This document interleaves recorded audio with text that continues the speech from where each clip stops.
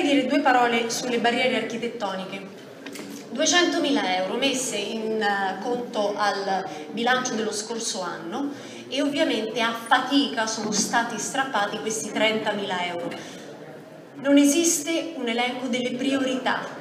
Il primo che arriva apre il cassetto e prende i soldi.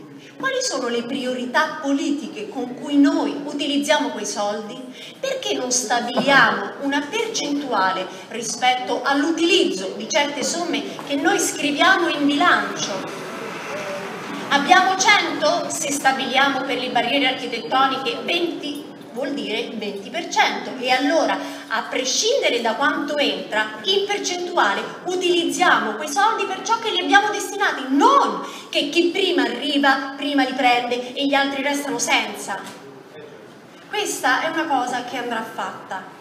E andrà fatta e io verificherò se nel regolamento di contabilità questa cosa è determinata oppure no, altrimenti bisognerà in qualche modo metterla perché non mi risulta che ci siano delle priorità concordate, stabilite, mi risulta piuttosto che prima arriva il forte di turno e prima utilizza quelle somme.